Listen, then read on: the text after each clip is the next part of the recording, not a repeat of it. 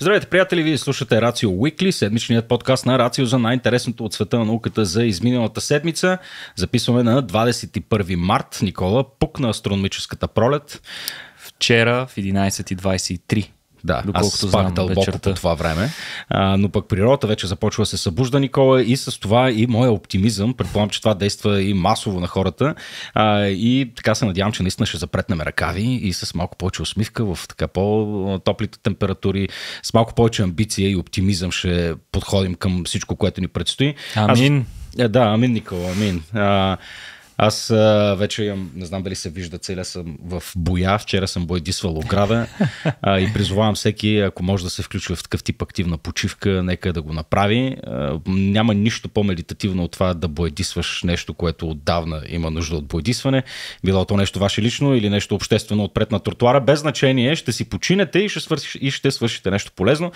А, така че нека голямото почистване започне и да си направим родината малко по-красива. Никога с такъв патос излишен не съм започвал слушал до сега подкаста, но а, наистина от доста време не съм влизал в студиото толкова зареден с положителна енергия. Розови не, храсти цъфтият, София се разкрасява. Има нужда от тия неща. На фона на всичко напоследък, което се случва, е хубаво да се каже, че голяма част от а, позитивното около нас трябва да идва от самите нас. Не трябва да очакваме да от някакви външни източници да си го набавяме. Ами, особено когато нещо не ни харесва, стига да можем ние с собствени средства, двете си ръце и крака, да помогнем с нещо, трябва да го опитаме. Обикновено можем, да. да.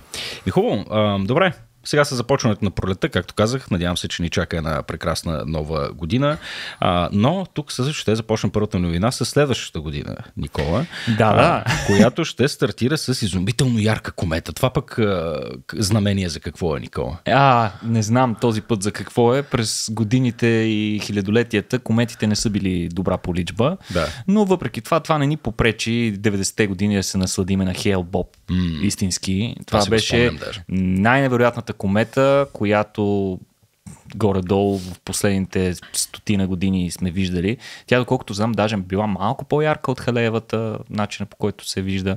Аз не знам ти дали си я гледал тогава. Аз спомням, беше голяма мания. Хората излизаха с едни бинокли да я гледат. Виждаше се в небето. Беше, беше ми малко като фалшиво, разбираш. Аз не можех да. да приема, че това, което виждам в небето е наистина комета. Изглеждаше какво пък е това, нали, все едно някакъв а, специален ефект. Да, да. Още повече, че тогава вече бяха популярни, почваха да стават популярни разни апокалиптични филми с забиващи се космически обекти в Земята. Та беше примешено цялото въодушевление на младия човек и разбира се с малко респект. Ето, че ще а, на прага сме да видим, надяваме се, нещо подобно. Става дума за кометата C2023A3. Запомни това име, Петко. Фантастично. не, може да не го помниш, защото тя си има едно доста по-хубаво име, което пак няма да запомниш. Това е Цучиншан Атлас. Така се нарича кометата в момента. Цучиншан Атлас, това какво ти говори, че най-вероятно има двама откриватели. В случая обаче става дума за две отделни обсерватории. Mm-hmm името на първата, вероятно ти звучи леко източно, това не е случайно. Става дума за обсерваторията а, Цучиншан в хит. Не е Цучиншан, но тя директно се превежда от китайски на Purple Mountain или там Лилавата планина. А, това, винаги тази... са толкова поетични, да, човек. Абсолютно, Красота. винаги, наистина. А, та, а, Лилавата планина, обсерваторията се намира в Китай и съответно те са първите, които се натъкват на изображение на кометата, но след това тя минава, застава в пространство, което не е чак толкова видима и всъщност имат нужда от потвърждение. Т.е. трябва още един източник да я види, за да я потвърди. Минава известно време и тогава една друга обсерватория, която се нарича Атлас, съкръщение от Asteroid Terrestrial Impact Last Alert System. Last. да, смисъл малко. Тя не е още... първата, която засича, но е последната. да, още по-апокалиптично звучи тази обсерватория. Очевидно тя е а, нейната основна задача е да следи за астероиди в, а, около, в небето и такива особено които а, могат да се приближат в орбитата си до Земята. А, въпросната, въпросният телескоп пък се намира в ЮАР. И съответно те потвърждават откритието на тази комета. А, очаква се тя да се приближи до Слънцето И когато го направи, да е един от най-видимите обекти в нощното небе и дори може би да се вижда и през деня, както беше Хелбоб, mm. на здрачаване, вече се виждаше чудесно. А, перихелиума, т.е.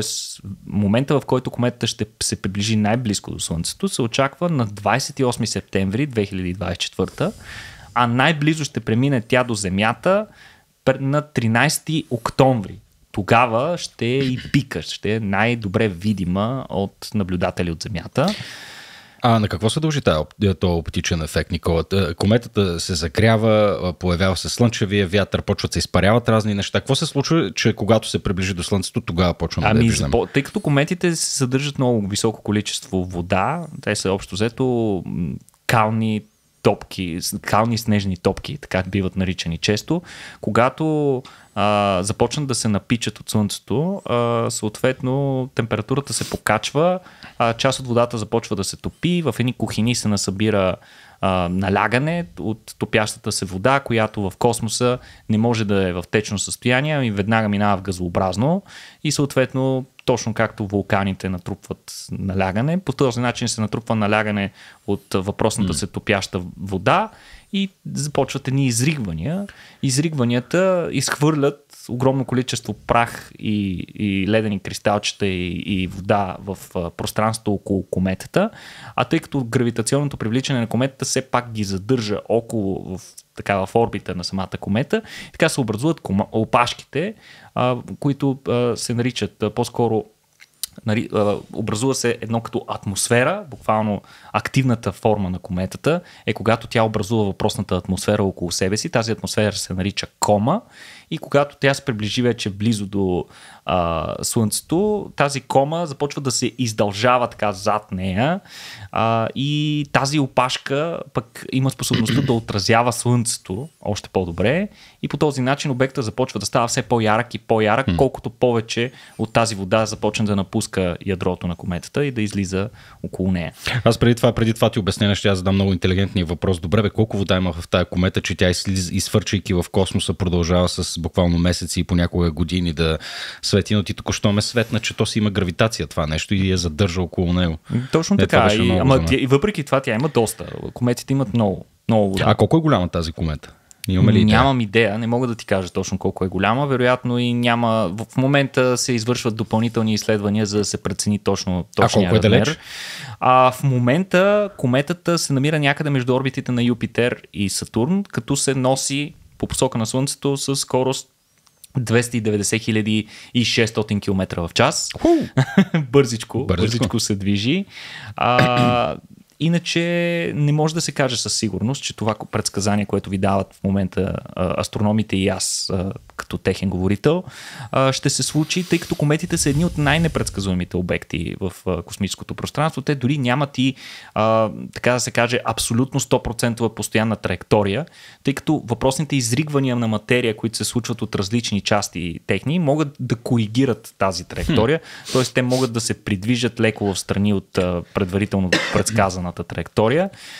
Не е много ясно дали ще оцелее, всъщност, приближавайки се до Слънцето, тъй като понякога те са, имат доста рехава структура и когато започне да ги напича Слънцето, понякога под въздействие на тези сили, които се образуват в тях, натрупването на въпросното налягане, което говорихме по-рано, те могат да се разпаднат и изобщо да не ги видим. Но се разпадат бавно и постепенно, а не с Разбира трясък. се. Раз... Въпреки, че ако има някакво слабо място, може изведнъж да се разпадне. Да, чули което... се дали ще е зрелище или ще... Няма да избухне. Няма не, да избухне. Въпреки, че вероятно в момента на разпадане, а, те ще, въпреки това ще има зрелище. Той ще се види добре това разпадане, а, ако се случи достатъчно близко, докато, ако е достатъчно близко до Земята. Така че не е много сигурно, но а, има причина астрономите да са оптимисти, че mm. наистина ще наблюдаваме страхотно зрелище през есента на 2024 да, година. Да, тогава има достатъчно време. Ние сигурно ще, да, ще върнем към тази тема, ще ги напом... ще напомним, вероятно. Да, да разбира се, тогава ще имаме и по-точни данни, къде точно в небето да гледаме, по кое време е най-видима и така нататък, но просто mm. имайте го предвид. Не е всеки ден да се случва подобна комета. Наскоро имаше една такава, която беше леко зеленикава.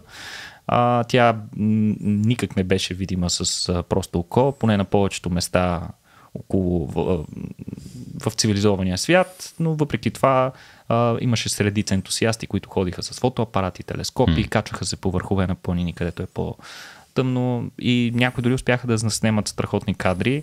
А, тази ще бъде по-видима със сигурност. Mm.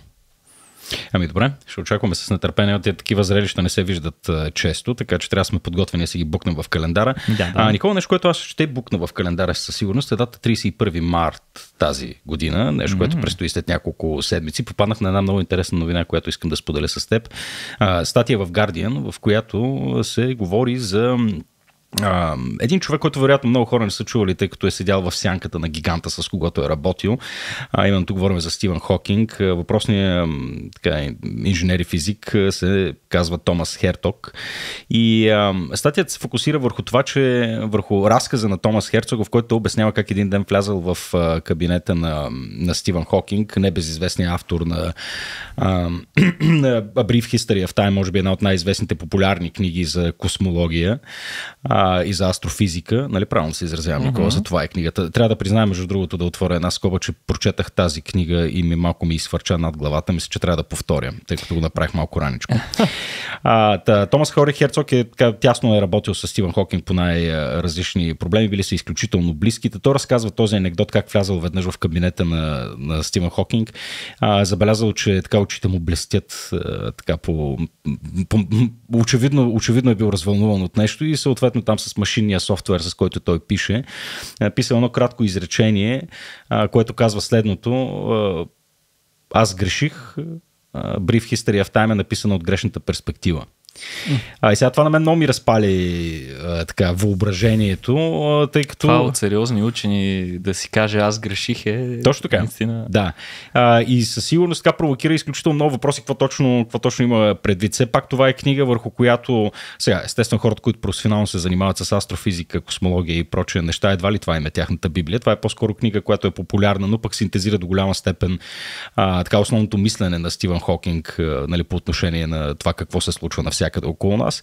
А, та, а това, за което говори Томас Херток, всъщност нали, така провокира много, много въпроси за това в кои точно аспекти Нали, Стивън Хокинг твърди, че греши.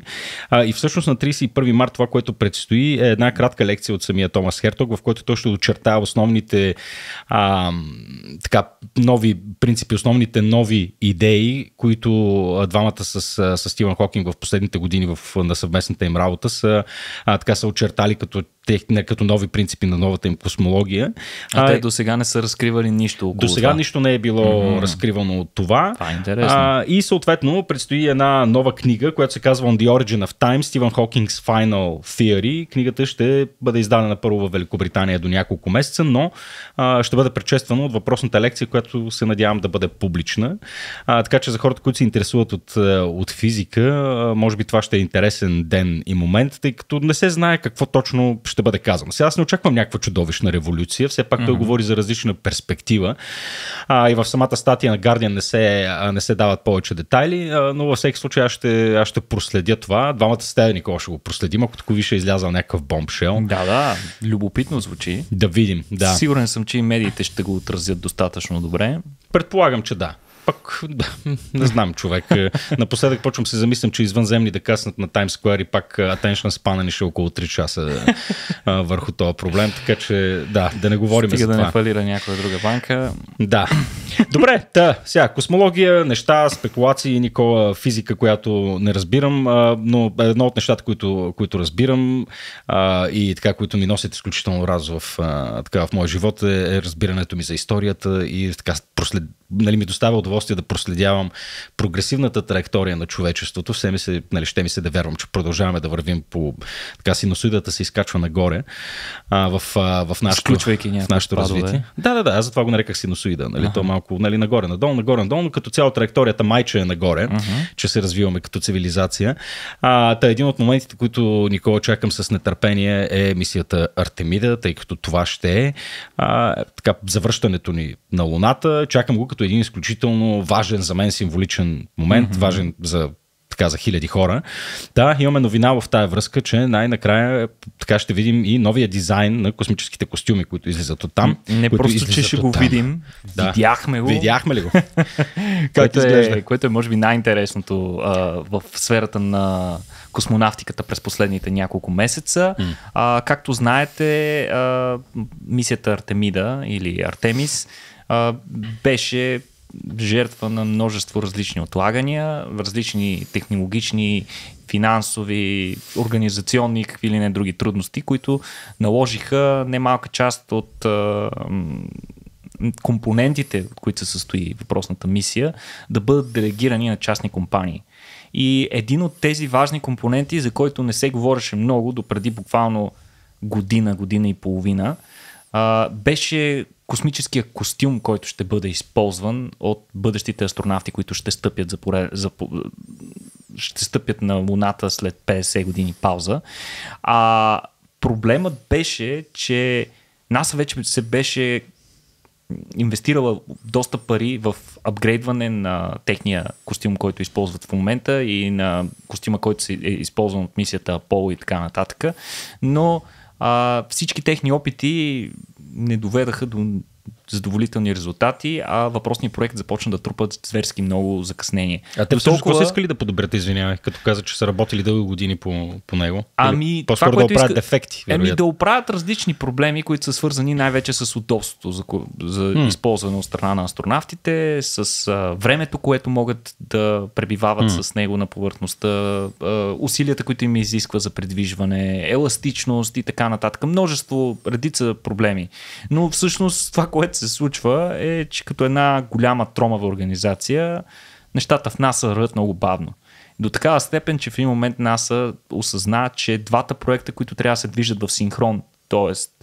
разработването на космическата ракета, която трябва да отведе хората, а, нали, екипажите към Луната, разработването на евентуалния спътник на Луната, космическата станция Gateway. Нали, всичко друго вървеше добре, но просто това с с костюма не се случва. С костюма не се случва. Както не се случват нещата добре и с а, приземяемият апарат, който трябва да свали всъщност астронавтите от орбита около Луната. На Чакай, двете основни повърхност. неща, за да каснем на Луната, не са налични. да, това е и за това какво прави? Okay. Нас, ами, да, ще ги дадеме. Ще делегираме отговорността на друг, на частни компании. В случая... И два месеца по-късно имаме костюм. А, Между другото, нещо подобно, за нещо подобно точно си говорим. Значи, тук си говорим за мисията Артемис 3, която е първата мисия, която планира да изпрати астронавти на лунната повърхност, тъй като следващата мисия, Артемис 2, тъй като ние видяхме Артемис едно по-рано а, миналата година. А, Артемис 2 ще бъде пилотирана, ще има хора на борда, но а, на борда на, на капсулата Orion, а, но тя ще бъде буквално една лунна обиколка. Те ще се завъртят, mm. ще направят там една-две орбити около Луната и ще се върнат. Представяш си е... този екипаж, човек. Еми, както, както тази мисия. Както на Аполо, да. както Аполо, колко беше? 9 ли? 7 ли? Не си спомням. Да. Да, но, но те, те са изпитали абсолютно същото, тъй като пък те са имали всичко. Може ли се да кацнат, ако решат? Да. Точно така. Може ли се да кацнат, ако решат? Доколкото знам, сега няма да е така. Те няма да имат приземяем апарат, така че няма да имат избор. нищо, да... няма да ги, нищо няма да ги турмози. Няма да поемат този риск, защото не. да, нали, наистина аз четах, е, има, има една страхотна книга, която трябва да се сети как се казва, може би ще реферирам към нея, но историята точно на Аполо мисиите и там командира на въпросния полет обясняваше, че буквално е бил на split second нали, решение копчето. на всички да натисне копчето и да каже, майната му кацаме. Ами да. И го правиме и сме първи. Защото имало и вътрешна конкуренция между самите астронавти. Да, кой, а, какво, кой ще стане в историята. След това, между тези астронавти, не си спомням кои бяха, изпаднаха и в депресия. Да, именно, да, да, заради, да, да. именно заради факта, че те са знаели, че а, копчето е било свързано с необходимите mm. кабели, можело да подаде сигнала, може ли са да го направят. Те това да. са го тренирали хиляди пъти преди това, но просто да. а, липсва въпросната заповед, пък и първоначалните цели на мисията не са включвали това, да. така че... Да. Но аз мятам, че това е важно. В смисъл, трябва стъпките да се правят постепенно, защото и преди сме си говорили с теб, че един провал в космоса може да завлече цялата да. индустрия много надолу. До момента нямаме умрели хора в космоса, на космически станции и космически апарати в космоса. Имаме нещо близко до това с едни руснаци, които при приземяването а, умряха, както и двете космически сувалки, които се разбиха а, Колумбия и Челенджер, но в космоса нямаме мъртви хора. Това е... Доколкото знаем, Никола. Доколкото знаем, да. да. А, та, а, въпросната мисия Артемис 3 е планирана за 2025, 2025, но нека бъдем честни, едва ли ще се случи тогава, сигурно ще има закъснение. Но скафандъра, с който НАСА изоставаше, беше даден да бъде разработван на познатата ни компания Axiom Space. Ние сме имали гости от Axiom, а, които ни разказваха повече за тяхната инициатива за извеждане на непрофесионалисти в космоса. Става дума за непрофесионални астронавти, които обаче да бъдат обучени предварително и да бъдат изпратени като част. За професионални част... милионери говорим. Ами, да кажем, да. въпреки, сега, че, въпреки, да, те твърдят, че не е задължително да бъдат милионери хората, mm. макар че случайно или не повечето са, но може примерно някой човек с прекрасни идеи а, да може да ги рекламира по правилния начин, така че да си привлече спонсор, който да го изпрати. Да. А, както и да е, Axiom Space доста сериозно прегърнаха идеята и буквално инвестираха по-голямата част от усилията на компанията в разработването на следващия космически костюм. И, случайно или не, както казахме по-малко от две години по-късно, вече имаме нов костюм. За да добиете представа, последният най-новия костюм, който НАСА е разработвала, е преди 40 години при повече от 40 години. Това е костюма за космическите сувалки. А, а костюма, който в момента се използва, а, използва в много големи кавички, използваше на Международната космическа станция, така нареченото ЕМУ, Емил. А, та Емил костюмът пък е на 50 години, той се използва за работа извън борда, т.е. по повърхността на станцията, когато трябва да се закачат различни апаратури, да се асистира за а, скачане на космически апарати или да се изстрелват такива от Международната космическа станция. Та въпросните Емил напоследък а, доста сериозно аварираха след втори пореден случай, в който астронавт ще се отдави. Да. Те са тотално спрени от употреба. В момента единствените костюми, които се използват на Международната космическа станция, са руските Орлан. Да. А дизайна е на 50 години или са произведени преди 50 години? Дизайна, има голяма разлика. Дизайна, да. дизайна okay, okay. на 50 години. Та новия костюм. Почваме да си говорим за него след, на шумна презентация, на която присъстваха множество медии, беше представен новия костюм, който тежи едва 55 кг 5 кг и а, което го прави сам с цели 25 кг по-леко от този, който е използван на мисията Аполо, т.е. доста сериозна разлика. А, ще се влиза, тъй като костюмът е вече доста по-голям, а, доста по-сложен и а, съответно ще се влиза в него по подобие на руските а, Орлан, т.е. ще има шлюз в задната част, през който буквално човекът ще влезе, а не както са сегашните а, емил костюми, които се обличат компонент по компонент. А, а те могат ли да се обликат самостоятелно, тъй като съм виждал на астронавтите сега, все някой трябва нещо да им закача, да им прави, да им такова? Е, да, със сигурност ще трябва да им се помага, mm-hmm. но вероятно а, ще, ще мислят и за това, за да могат да се, да се обличат самостоятелно. Да. Нали, все пак предполагам, че и на мисиите Аполо, тъй като няма да можем да пратим чак толкова много хора, hmm. че някой да отговарят нали, за, за да помогнат на астронавт да се облече. Е, а, при всички случаи те взаимно си помагат. Единия се облича, другия го наблюдава да. и го проверява, защото, както казахме, грешки там не се толерират въобще. Питам в случай на сценарий, при който се открива странен патоген на Луната и те го вкарват в лабораторията, докато го изследват и той започва да расте, изведнъж превзема цялата лаборатория и започва лека по лека да избива един Харесва. по един астронавтите. Един от тях трябва да излезе като крайна мярка и да има как да се закопчае, за да излети към земята и да се спаси. Но добре. Да, вече, вече сигурен съм, че такива. А, мисля, че един руски филм наскоро излезе. Да, не, Space, Space Horror на мен е любимия филмов жанр и, и дори не съм, дори не се метапя. Да, добре. А, Какво друго за костюм? Костюма, да? това, което ме привлече веднага погледа е колко модернистично изглеждаше. Черен с едни оранжеви, оранжеви такива а, надписчета, цветове и така нататък, които общо взето симулираха логото и цветовете на компанията. Mm. А, но всъщност няма да е това цвета това е всъщност изцяло маркетингов трик.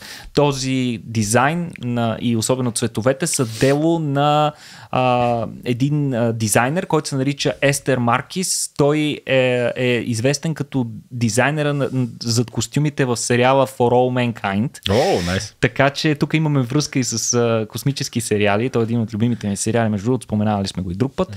А, няма да е такъв а, цвят, както казахме, защото на повърхността на Луната а, от време на време, особено когато Луната е огряна от Слънцето, а, ако е такъв черен, астронавтите ще се свърят вътре. Да. Той трябва да е изцяло бял, за да отразява по-голямото количество от слънчевата енергия и тя да не претоварва системите за охлаждане на космическите костюми. А, какво различно друго има? Има повече подвижни стави, което осигурява повече еластичност, повече свобода на движение на астронавтите.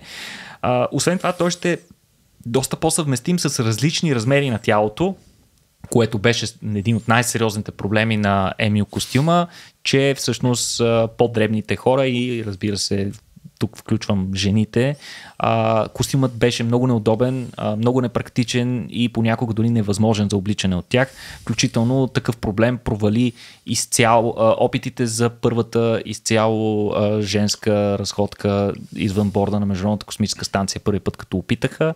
Просто липсваха части и едната жена нямаше как да, да използва костюма.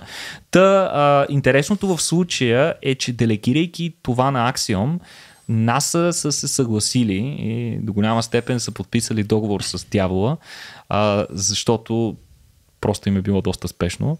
А, това не е стандартна практика, но всъщност Axiom запазва пълните права над костюма. Това е много интересно. Тоест, те могат в последствие, след като се осъществят мисиите Артемис, където той ще бъде използван и изтестван за първ път, те ще могат да го продават и предлагат на трети страни, като се надяват по този начин те да стимулират зараждащата се част на космическа инициатива, лошо това, особено свързана с построяване на частни космически станции и частни мисии на Луната, може би един ден. Нищо лошо не виждам. И аз не виждам нищо лошо в това. Да ги шият на Ишлеме. Е, тук фабрика в Руса, пещера имаме. Ще стане бързо. Супер, супер. Много, много по-ефтино.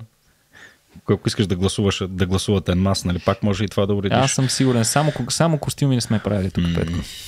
Да, костюмите с секси. Трябва да, трябва да призная, че на SpaceX на мен ми изглеждат по-готино, обаче ние с тебе си говорихме нали, преди, преди този запис, че а, в случая се подхожда малко по-практично и прагматично и ергономично, отколкото нали, се търси чисто маркетинговия ефект, а, макар че аз продължавам си държа на позицията, че ако можеш да направиш нещо секси, по-добре го направиш секси, нали, да го комбинираш. От Axiom се своята... а, приеха тази критика, между другото, mm-hmm. като те твърдят, че все пак водещото е, разбира се, функционалността, т.е. те нямат кой знае колко свобода да правят а, някакви да. чудовищни промени в дизайна, но това, което казаха, че има съществени промени в а, системите за осветление. И те казаха, Още че... свети амбиентно така. Да, казаха, че на тъмно костюма им ще да бъде потрясаващ. е, да, ако остане тъмен, ако, ако светне в бяло, не, не знам, ще би.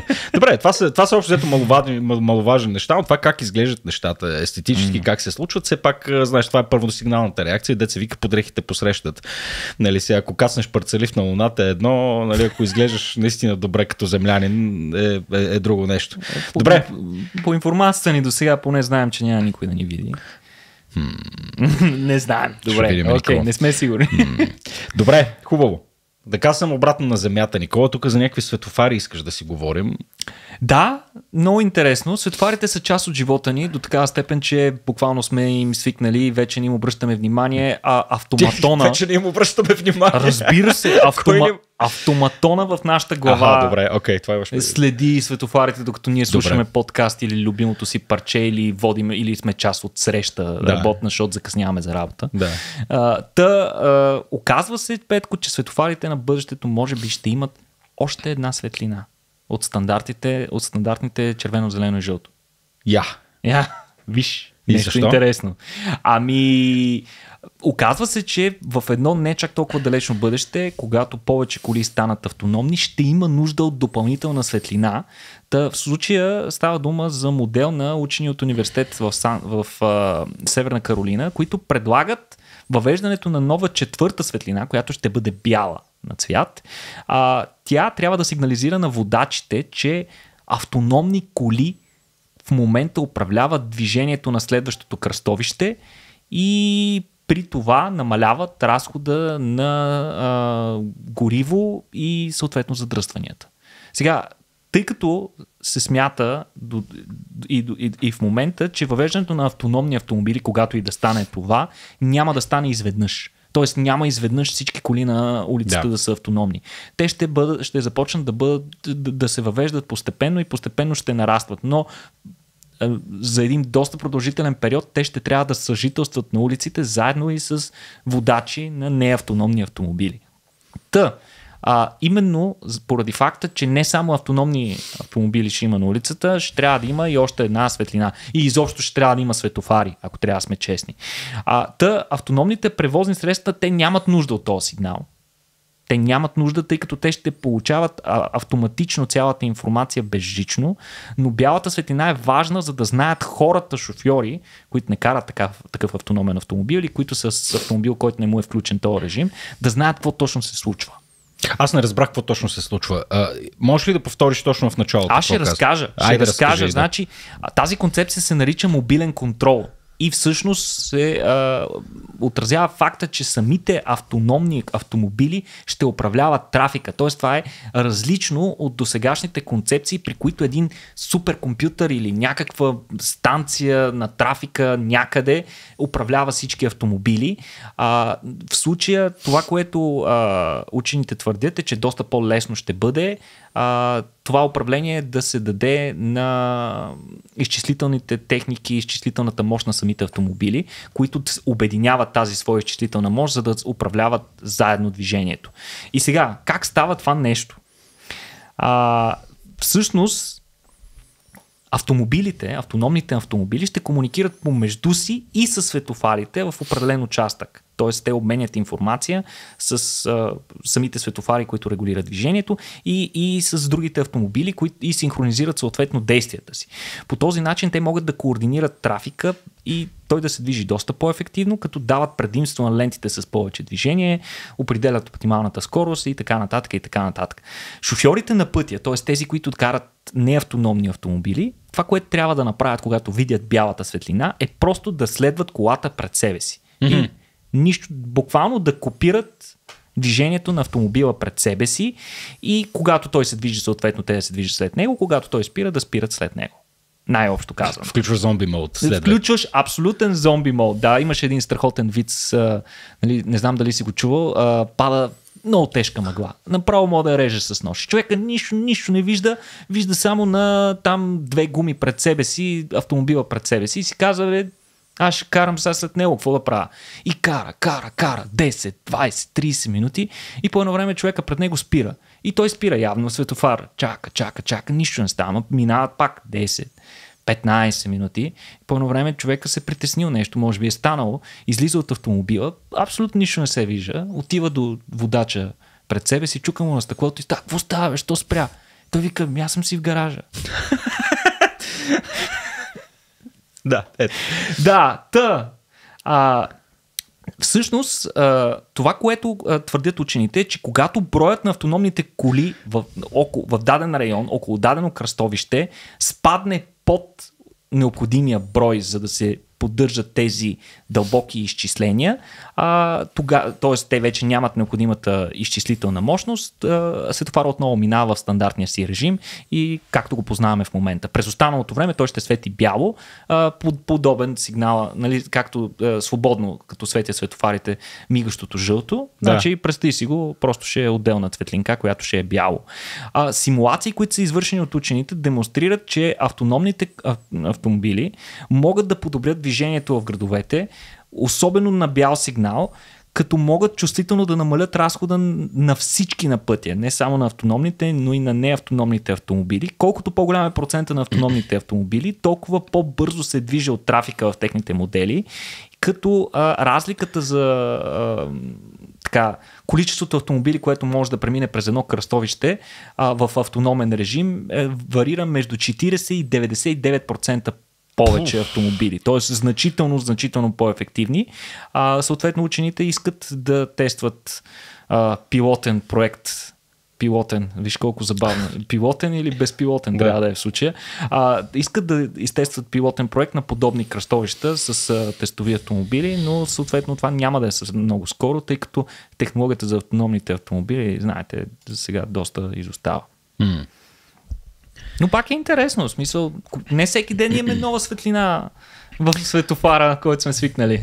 Да, абсолютно. Една такава технология. Не знам, аз по някой път съм се замислил е, поне съм си представял, когато дойде времето, че нали, доминиращи автомобил да е автономния, си mm-hmm. ги представям на едно кръстовище, просто като светни зелени, как всички тръгват едновременно някак, а не е нали, един след друг, един след друг, един след друг. Не знам дали това изобщо е, е възможно или някакси наивно и по-детски го разсъждава. Абсолютно, това е идеята и да се скъси да. дистанцията между автомобилите, без при това да се повишава риска, да. така наречените трафик трейнс а, които се разработват от а, различни други компании, това със сигурност ще, ще да, подобри нещата да. доста. Абе, не знам, аз мисля, че трябва да вървим в малко по-различна посока, според мен. Що се отнася до градската среда, автомобила естествено ще е безценен, когато трябва да пътуваме от точка А до точка Б извън градовете, но си мисля, че що се отнася до градската среда, автономни или не, манете им на колите. Ами... Трябват ни велосипеди, трябва ни хубаво метро, трябва да се срещаме едни с други, а не си седиме в бронираните кутийки. Най-вече, най-вече бъдещето на личните автомобили е преброено, според според мен. Искрено се надявам да е така. Ако трябва, ако трябва да бъда честен, сега естествено аз също като всеки друг човек се ценя личната автономия. Мен ми харесва да съм си в колата. Mm-hmm. Безспорно е така, а, но съм повече от готов да го заменя с а, а, така наистина удобно, обществено, комфортно, комфортна альтернатива на, на предвижване. Пък нали, било и то дори метро и автобус, нямам нищо против да си обменям въздуха с гражданите си. Сега, нали, би било хубаво да носят маска, когато им се казва, но това вече, вече е друга тема. Не, да живее велосипеда, Никола, мен това ми е, това ми е приоритета. Добре, еми, като си говорим за бъдеще, Никола, очевидно вървиме към а, декарбонизирано бъдеще.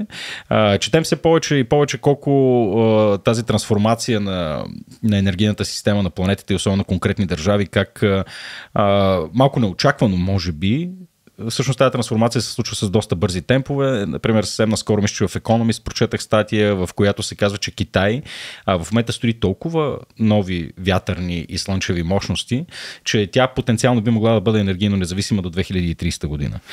Нали, wow. Без да е само, нали, тук не говорим да е на 100% вятър и слънце, но да е енергийно независима. А Китай спре ли да внася неща, нали, това ще, ще разтресе пазарите, нали, енергийните пазари, тъй като тя е един от най-големите консуматори в момента. Mm-hmm. нали, Китай, Индия също е такъв подобен пример за, за много сериозна трансформация.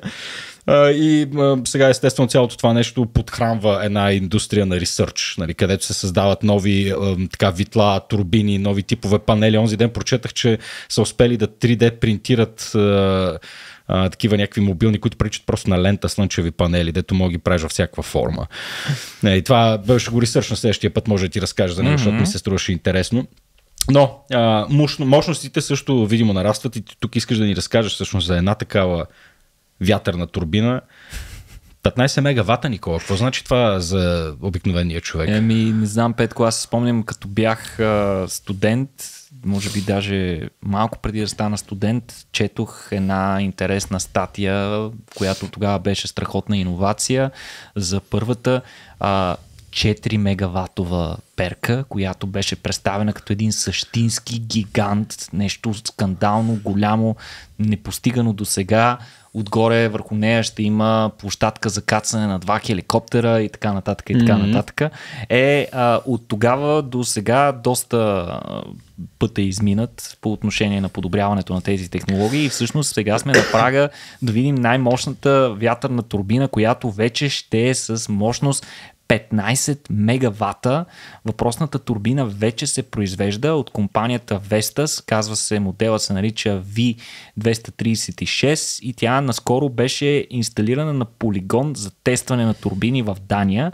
А, като компанията Vestas е една от, един от гигантите компании за строеж на въпрос на, на вятърни турбини Каква? и на вятърни а, паркове. Добре, датска добре. компания. Тя има инсталирани към момента 160 гигавата вятърни мощности в общо 88 страни. Така че може да си представиш какъв бизнес е това. О, какво значи това, бе? 160 гигавата. Колко харчиме ние в България? Любопитно ми е просто. Имаш ли идея на примависта или трябва да го ами, смятаме? примерно реакторите на АЕЦ с типо 1000 мегавата. Да, Значи, 1000 мегавата. Можеш Един да гигават е 1000 мегавата. Не. Или? 1 гигаватт е 1000 мегавата, точно така. Добре, значи те имат 100, колко каза? 160. Еквивалента на 160 ядрени блока реактора. на ядра. Вау! Да, нещо Добре. такова си представи. А, всъщност, предимствата на вятърната енергия пред слънчевата е, че тъй като те много често биват вкарвани в една обща категория, нали, възобновяеми енергийни източници, а, заедно и с някои други, но те са основните представители на тези технологии, е, че, те, а, че не се жертва обработваема площ когато се а, използват вятърни турбини и че също така те могат да работят и през нощта за разлика от слънчевите, които работят само през деня. Те даже вероятно по-добре работят през нощта. Да, По-духа зависи, вечер, не да, знам. Да, зависи къде биват поставени, но Да. да. наистина денонощната динамика на ветровете показва, че понякога през нощта могат да са по-ефективни. Да. А, те са идеални всъщност за малки държави с голяма акватория, например островни държави или държави, които съдържат островни архипелази и така нататък и а, където всъщност има и постоянни ветрове край бреговете, нали, в близост до големи водни басейни има непрекъснато течение, което може да бъде използвано за производство на електроенергия. А, в последно време това, което се забеляза като тенденция в индустрията е да се правят все по-големи и по-мощни турбини, които съответно да имат много по-висока ефективност, да имат по-малко разходи за инсталация и за поддръжка, т.е. разходите а, на мегаватт да бъдат максимално снижени и а, всъщност основният а, фактор, който тласка цената на вятърната енергия надолу е именно нарастване на вятърните турбини. Не се знае до кога ще може да продължи този процес. Със сигурност има някакви технически лимити на това, а, но а, най-общо казано, големите перки имат повече площ, съответно могат да улавят дори по-слаби ветрове и да генерират електричество доста по-ефективно и, и, и по-лесно. А, конкретно а, диаметъра на перките, нали, а, диаметъра на, на, на въпросната турбина е 236 метра. Значи, представи си го, за да пробягаш от единия и до другия край и ти си Юсейн Болт. Аз съм И- Юсейн Болт, да? Да, ама в пика на, на формата си и за да пробягаш от единия до другия край, ще ти трябва 20 секунди спринт. За да добиеш представа колко е дълго това нещо. Е, това са две, две и половина футболни игрища. Почти. Не, Точно по-малко. Да, да, две и. Това е дължината на перката, Вау! като а, заедно с кулата цялото нещо е високо около 280 метра, т.е. е малко под айфолата кула на височина. Айфеловата кула се върти. Е, така. Да, абсолютно. Всяко вит... Всяка перка, всяко витло е с дължина 115,5 метра. А, 80 гигавата енергия годишно може да произведе една перка според а, производителя. Разбира се, това е при идеални условия. Съответно, може една перка да захрани 20 000 домакинства и да спести а, изгарянето и извеждането в атмосферата на 38 000 тона въглероден диоксид годишно. Тоест, спрямо въглещата, очевидно, подобна перка ще е доста, доста добро средство за декарбонизиране. А, съответно, вече получи сертификат за серийно производство въпросната перка, като в същото време в Китай вече съобщиха, че са направили 16 мегаватова турбина, което е непотвърдено, разбира се, все още, а дойдоха новини за други компании, които са в процес на разработка на 18 мегаватови турбини. Така че е, истински, истински вятърни чудовища. Представи си как би се чувствал Дон Кихот. Тичайки към едно такова нещо. Тич... Той вероятно го вижда и тръгва да тича с коня срещу него и минават часове, той не може да стигне. И вече след още един час, когато види толкова е, колко е голямо, вероятно би обърнал ход на коня и би Добре, се прибрал. сега. Аз конюшнята. тук нещо. 8 турбини, 1620 мегавата е ТЕЦ Марица Изток 2. А, значи, колко ни трябват 100 такива турбини, 16 ватови условно, са колкото един ТЕЦ Марица Изток 2, а ТЕЦ Марица Изток 2, колко, каква част е от българската енергийна система, кой го знае. Опитвам се да го направя, нали, да, го, да го видя като еквивалент, какво, какво, какво означава това. Да. Най-лесно е наистина. А, колко всъщност, чай да видим колко беше тя. Тя е 15 мегавата. Да. Бая такива трябва. Стотина. Стотина трябват. Повече, да, малко повече от стотина. Стотина трябват, за да компенсират един ядрен реактор.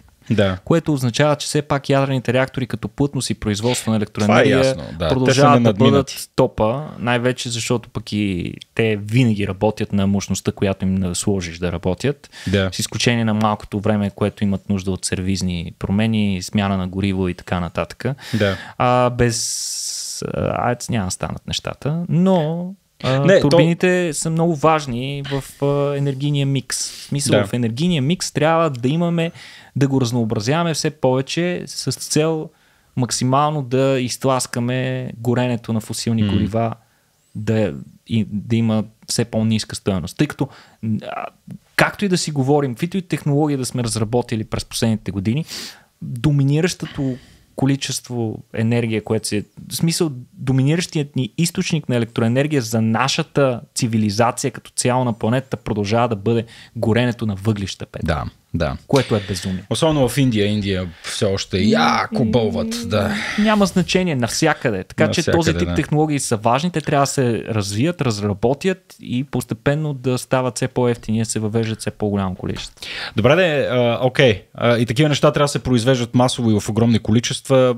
Сега нали, всеки от нас е виждал изображения на едни безкрайни вятърни ферми, на безкрайни слънчеви е, ферми и колектори. И аз сега задавам въпроса, защото що се отнася до всеки е, продукт, ако щеш, нали, човек трябва да мисли за целия производствен цикъл, да си, нали, да се прецени това нещо, наистина ли офсетва някакви а, емисии на въглероден диоксид или не, дали наистина е по-екологично чисто или не е, защото често пъти се получава, че ако погледнеш целия производствен цикъл, се оказва, че нали, необходими са едни 50 години, примерно, за да се компенсира самия производствен процес нали, mm-hmm. и енергията, която бива използвана, за да се произведе даденото нещо. Та тук въпросът по отношение на, на тия огромни машини, в смисъл, бога ми перка от 115 метра. Mm.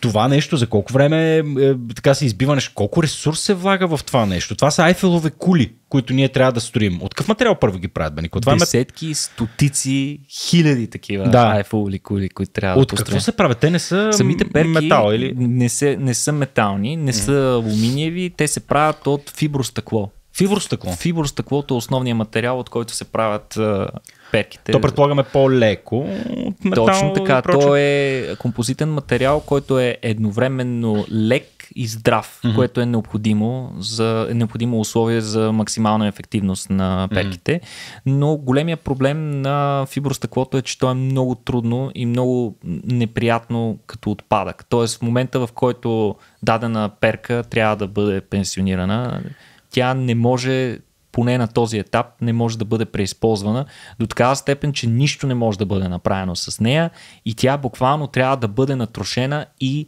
зарита в земята, депонирана. Нищо не можем да направим. А както казахме, ще имаме нужда от десетки хиляди такива перки по цял свят. А колко е живота на една перка, знаем ли? Ами различно е. В зависимост, от, не, зависимост от технологиите, но при всички случаи няколко десетки години, може би 20 на години. Нямам представа. Да, тук, просто, е тук просто гадая, но наистина големия проблем до момента е, че те трябва да се депонират. А, това не решава проблеми, а по-скоро създава такива. Сега, до сега усилията на повечето компании, които които се опитват да разрешат този проблем, беше да се намери нов материал, който да има същата или дори по-висока устойчивост, пак ниско тегло, но да може да се рециклира директно. И има различни успехи в това направление, но всъщност голямата новина дойде отново от същата датска компания, Петко, Vestas, които обявиха, че няма нужда няма нужда вече да се търси нов материал. Те продължават да работят с фибростъкло, тъй като са намерили начин да рециклират фибростъклото, което е наистина много революционно и, и, и то да го направят по начин, по който да е економически оправдано. А, Не по този с тежко начин, горене и милиони тонове вода, както... Те са, точно така. Те са разработили химически процес, при който фибростъклото, което по принцип се състои, нали, композитните материали се състоят най- от два материала, които са споени а, по някакъв начин или залепени едни за други, които т.е. събрани в един общ материал. Mm-hmm. И двата материала имат различни качества и като ги споиш по този начин, добиват а, такъв. А, добиват, добиваш качествата и на двете. Нещо Например, като епоксито, дето го Железобетона е типичен ага, пример да, за това. Нали? Желязото се поставя вътре, за да дава опора и освен това да осигурява и някакво а, ограничена еластичност и така нататък и дава а, усилени качества на, на, на бетона. Да, да. А, в случая фибростъклото се състои от епоксидни смоли и стъклени нишки. Стъклените нишки се разпъват, а епоксидните смоли епоксидната смола ги залепя и ги превръща в някакъв крайен продукт. А, това, което те са разработили с въпросния химически процес, дава възможност да се преработват тези материали до изходните суровини, които пък могат да бъдат директно използвани за производство на нови турбини или за други цели. Как? Какво Н... значи до изходните суровини? Ще разделят епоксито от натрошените стъкла. Точно така. Нишките могат да се преизползват след това и самата епоксидна смола, а, се, която е полимер, т.е. те отделят мономерите, които след това при обработка могат да се вкарат в производството на нови турбини, което е наистина, наистина много революционно. Те не дават повече информация точно как го правят това Защото нещо. лъжат. Е, не е ясно да. дали лъжат, но а, въпросният проект, а, всъщност въпросното откритие е плод на проект а, дългогодишен в партньорство с компания за епоксидни смоли и друга компания, по която се занимава конкретно с рециклиране. Така че тези три компании са работили заедно при тази разработка. А, това, което те обявиха е, че първо в този процес фибростъклото се разделя на фибри и на епоксидни полимери, чрез въпросния химически метод, после епокси полимера пък се разгражда до ценните първични материали и тези материали после директно се влагат в производство на нови турбини, като това осигурява нещо като кръгов процес си представи. Да, да. А, новия метод може да се приложи в индустриален мащаб, твърдят те, като а, може да се приложи както за стари перки, така и за тези, които те първа предстои да бъдат а, пенсионирани. Тоест, вече събраните отпадъци от стари перки могат директно да се. Е, това е супер. Аз реках, че да тези техните си перки само. Малко, не, малко не. Монсанто стратегия. Не, напротив, те твърдят, не. че това нещо може директно да се, да се вложи в перките на техните конкуренти. А, това дава наистина потенциално нова ера в вятърната, вятърната енергийна индустрия, защото ще намали доста разходите за обезвреждането, депонирането и така нататък, които, които са част от целия процес. Както ти каза, той трябва един процес да се разглежда от самото начало, от добиването на изходните материали до края вече, в които се утилизират отпадъците. А, ще помогне доста за проблема с устойчивостта, но и също така това ще източник на ценни материали. Когато отпадъкът се превърне в нещо ценно, вместо да. да го наричаме отпадък, ние отпадък наричаме нещо, което не можем да използваме директно. А това вече няма да отпадъка, ще е суровина.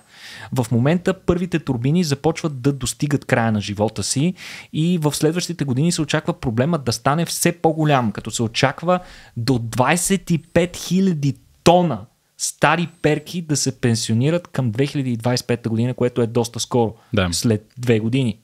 Така че а, идва тъкмо на време тази а, те, нова технология.